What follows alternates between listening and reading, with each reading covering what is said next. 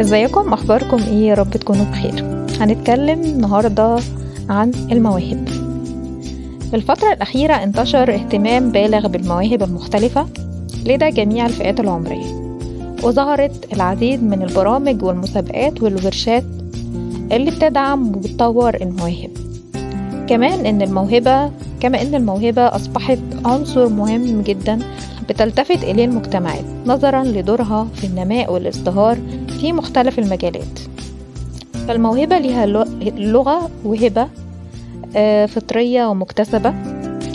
يعني بتعرف إنها قدرات عامة أو خاصة بتخلي الإنسان مميز عن الآخرين في مجال ما أو عدة مجالات. وهي بتدل على مستوى عالي من التفكير والأداء ومش بيشترط إنها ترتبط بذكاء الفرد. هي أصلها قدرات خاصة بيمتلكها الشخص بشكل فطري. وقد تكون قدرات عقلية مرتبطة بالذكاء أو استعداد فطري لاكتساب مهارة مهارة مهارة ما. اكتساب اكتشاف المواهب. آه الإنسان ممكن يكتشف آه الموهبة أو الأهل بيكتشف الموهبة. موهبة طفلهم في عمر صغير آه بياخدوا على عاتقهم تنميتها واستغلالها آه يعني تفضل الموهبة دي موجودة في حاجة لأن هم يرعوها ويكبروها داخل الطفل. وكتير آه ما بتكون الموهبة دي مدفونة آه محدش يعرف حاجة عنها ولا حتى صاحبها بيعرف إن هو بيمتلكها وبيعتقد إن هو مش بيملك أي موهبة. فبيحتار في الاتجاه المفروض يسلكه في حياته. عشان كده لازم الإنسان يسعى لاكتشاف, لاكتشاف الموهبة اللي عنده. بمختلف الطرق والأساليب في مرحلة اسمها مرحلة التأملية. المرحلة دي بيوجد عدد هائل من المواهب اللي قد يمتلكها الإنسان عشان كده لابد من إن هو يبدأ باكتشاف موهبته الخاصة عن طريق حصرها. وكمان بيمكن إن هو يستخدم مجموعة من الأساليب التأملية والتخاطبية مع النفس أو مع الآخرين للوصول ليها ومنها. استرجاع ذكريات الطفولة.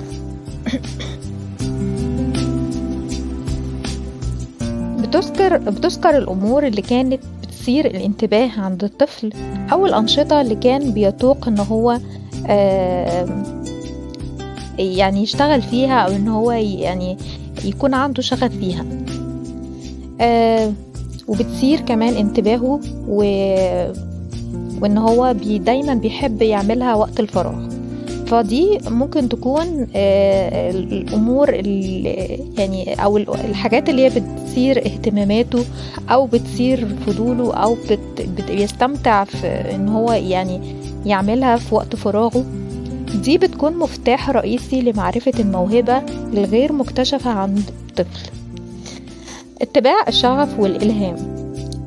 دول المحركين للقدرات فمعرفة الأمور اللي بتحفز الشخص وبتلهمه أحيانا بتكون دليل على استعداده الفطري لموهبة ما.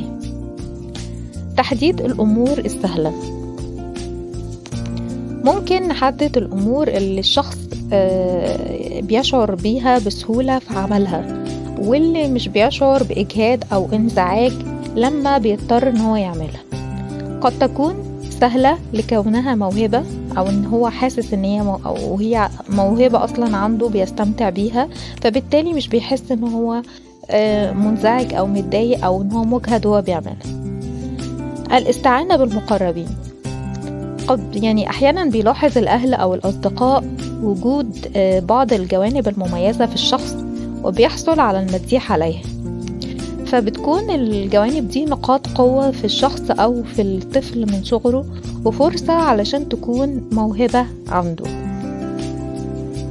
في مرحلة كمان اسمها المرحلة العملية. بتبدأ مرحلة الاكتشاف الحاسمة عندما يعني لما بيكون الشخص بيقوم بالممارسة العملية وإن هو بيتحرك إن هو يسعى يكتشف الموهبة اللي عنده. ومن الأمور كمان المهمة اللي المفروض إنه يقوم بيها هي كسر الروتين. الإنسان أو الشخص لما بيمارس حاجة روتينية متكررة آه لازم يجرب إن هو يبتدي حاجة جديدة وإن هو يكتشف الموهبة بتاعته. كمان مهم قوي قوي إن هو يتخلص من الخوف.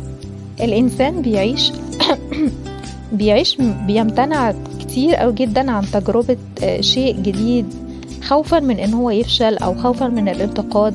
عشان كده لازم مهم قوي إن هو يتخلص من الخوف ويبدأ بممارسة كل شيء بيرغب في إن هو يجربه كتجربة جديدة. قد تكون أحد التجارب ديت هي موهبة الموهبة الضايعة اللي هو بيدور فيها أو بيحاول يكتشفها.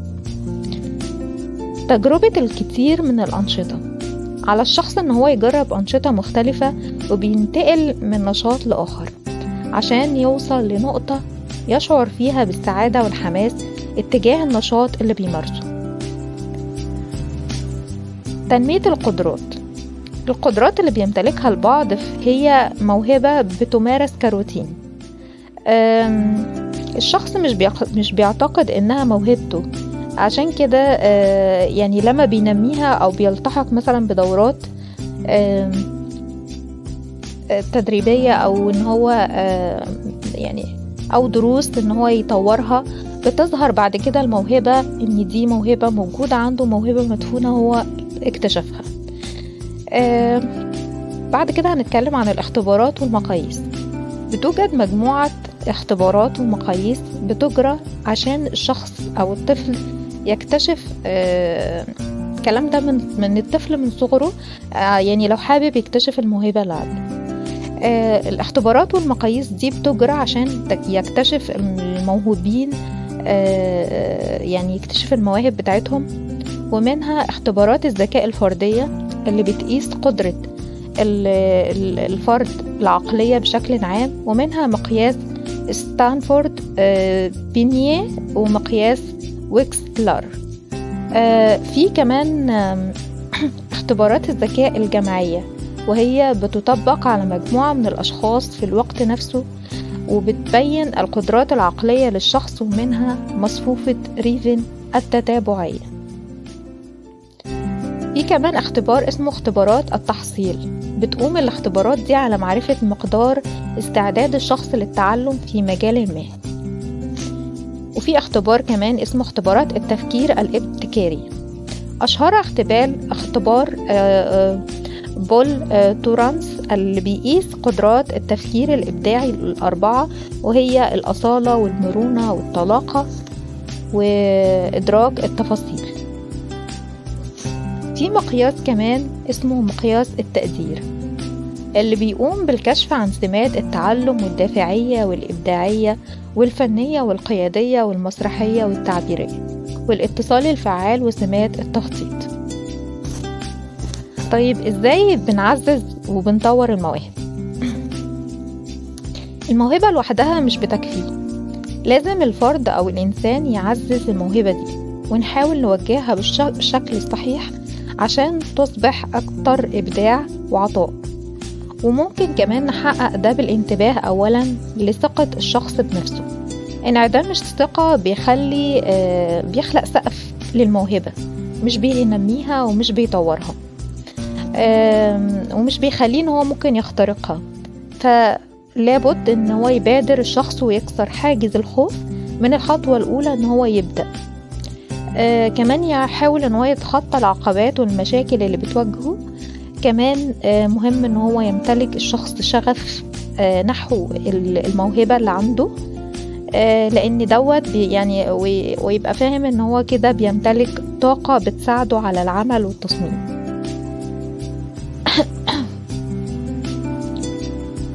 آه كمان بيساعده على تطوير موهبته وده آه أهم ما يمكن إن هو يفعله أو يعمله الموهوب. أو إن هو يتدرب المست... يعني التدريب المستمر لأن التدريب المستمر بيؤدي بيه في النهاية لأن هو بينمي موهبته بشكل صحيح. ف يعني مش بيكتفي بفكرة الهبة أو إن هو بيكتفي إن هي موهبة من عند ربنا لأ بالعكس بي كمان بينميها وبيسعى دايما إن هو يشتغل بجد لتطويرها ولازم يكون الشخص كمان ليه عنده علاقات بتدعمه وبتاخد بإيديه في موهبته في اتجاه إيجابي. لأن الدعم بيأثر جدا في فكرة إن الشخص يكون عنده موهبة كبيرة وإن ده ينميها ويخليه عنده شغف أكبر. وإن هو كمان بيحاول ينمي تنمية موهبته مع مجموعة من الأشخاص. فالعمل الجماعي عموما بيقوي وبيدعم الموهبة وبيساعد على التخلص من نقاط الضعف فيها. دلوقتي هنتكلم عن أنواع المواهب. كل شخص من يعني نوعا ما عنده نوع من الذكاء. بيترجم على شكل موهبة بيمتلكها ومش بتنحصر على أنواع الذكاء بالنمط المتعارف عليه. من ذكاء أكاديمي وعلمي فالعقل يعني إطارات متنوعة وواسعة وبتنعكس على الأداء والمهارات اللي بيمتلكها الفرد. وممكن تندرج الذكاءات دي ضمن سبع أنواع. الذكاء اللغوي. والذكاء اللغوي ده اللي بيظهر على على صورة براعة لغوية زي الكتابة والخطابة والصحافة والقانون في الذكاء الموسيقي. الذكاء الموسيقي زي مثلا شخص بيمتلك قدرة على إدراك الفروق الدقيقة ونماذج الألحان والإيقاعات فبيكون عنده استعداد للتعلم على الآلات الموسيقية أو إن هو يغني أو أي نشاط مرتبط مرتبط بفكرة الموسيقى أو الأداء الموسيقي. الذكاء المنطقي الرياضي فبيكون بيكون يعني الشخص في الحالة دي بيكون عنده قادر على الاستنساخ والتحليل واستخدام الأرقام للوصول آه للحلول وبيظهر النوع ده من الذكاء على شكل آه آه مواهب هندسية وحاسوبية ومحاسبة يعني نظام في في رياضة وهندسة وحاسب آلي وهي دي الفكرة يعني بيكون عنده نوع من أنواع الذكاء في النقطة دي. الذكاء البصري والفراغي الشخص أو الفرد يعني بيستطيع أن هو يتصور الأبعاد الفراغية وبيتخيل ترتيب العناصر جواها فبتنشأ عنده موهبة الفنون التصويرية والرسم والتصميم الداخلي. في الذكاء الجسمي والحركي. بيتحكم الشخص بحركات جسده وبينسق ما بين الحركات فهو بكده بيمتلك استعداد للتمثيل والرقص وفهم لغة الجسد يعني بيفهم لغة جسده وبيفهم لغة جسد الآخرين. الذكاء الاجتماعي بيكون الشخص عنده قدرة اتصالية مع الآخرين وبيستطيع تكوين علاقة قوية ما بين الناس والشعور بالناس وقيادتهم والذكاء الاجتماعي بيستغل في التعليم والعمل الجماعي والقيادة. الذكاء الشخصي بيمتلك الأشخاص في الحالة ديت قدرة على التطوير الروحاني وتأمل للذات وإدراك لقوتها في الحالة دي بيكون الشخص متدرب ومحفز للحياة وقائد روحاني.